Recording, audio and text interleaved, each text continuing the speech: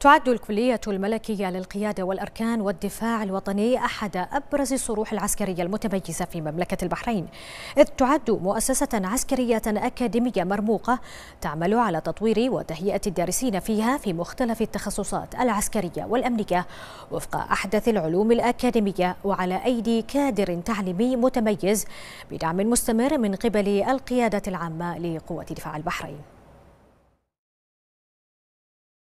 تطوير وتعزيز الكفاءات الأكاديمية والمعرفية لمنتسبي القطاع العسكري في المملكة مجال حظي باهتمام كبير من قبل سيدي حضرة صاحب الجلالة الملك حمد بن عيسى الخليفة القائد الأعلى لقوة دفاع البحرين. تجسد في تأسيس كلية القيادة والأركان والدفاع الوطني وفق رؤية ملكية شاملة ومتكاملة تهدف دائما للارتقاء بهذا الصرح الوطني الشامخ. صدر المرسوم السامي لابن سيدي حضرة صاحب الجلالة الملك حمد بن عيسى الخليفة ملك البلاد المفدى قائدنا الأعلى حفظه الله ورعاه بتأسيس كلية الملكية للقيادة والأركان في 25 فبراير 2006 وبرؤية متواصلة من لدن سيدي حضرة صاحب الجلالة جاء المرسوم السامي في عام 2015 لتأسيس كلية أعلى للدراسات الدفاعية والاستراتيجية تسمى كلية الدفاع الوطني. من أجل تعزيز مفاهيم الأمن الوطني لدى العسكريين والدبلوماسيين ورجال الدولة. أما بالنسبة عن رؤية الكلية أن تكون الكلية الملكية للقيادة والأركان والدفاع الوطني مركزا للتميز في العلوم العسكرية وفي المنطقة. أن مهمة الكلية الملكية للقيادة والأركان والدفاع الوطني هي إعداد وتأهيل قيادات عسكرية ومدنية. وتطوير قدراتهم للعمل كقادة ميدانيين وكصانعي قرار.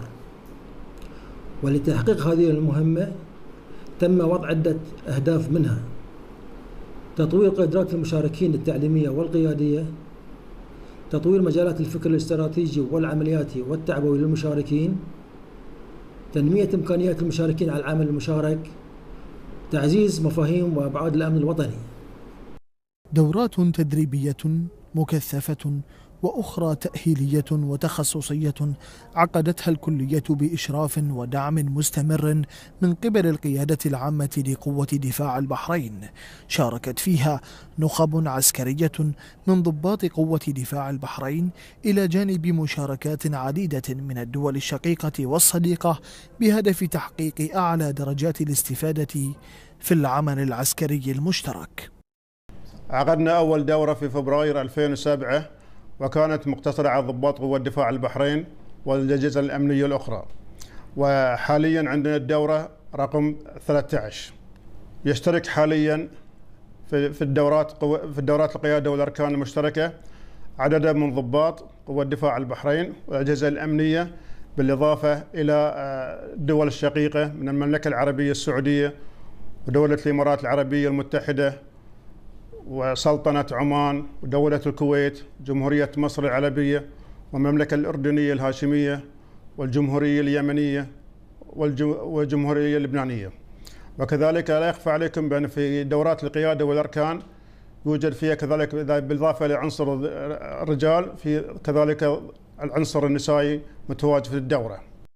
تطور مستمر في المناهج وآليات التدريس والتعليم المتقدم ينهل منها منتسبو هذا الصرح الوطني على أيدي كادر تعليمي عسكري مؤهل على أعلى الدرجات في مختلف المجالات والخبرات العسكرية المتقدمة لتكون الكلية دائما مركزا علميا واكاديميا عسكري تتفاخر به المملكة على مستوى المنطقة.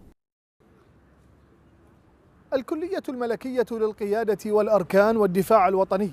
صرح وطني أكاديمي عسكري حظي بدعم مستمر من قبل سيدي حضرة صاحب الجلالة ملك البلاد المفدى القائد الأعلى لقوة دفاع البحرين حفظه الله ورعاه.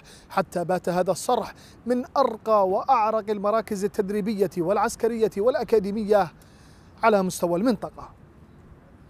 يحيى العمري لمركز الأخبار تلفزيون البحرين.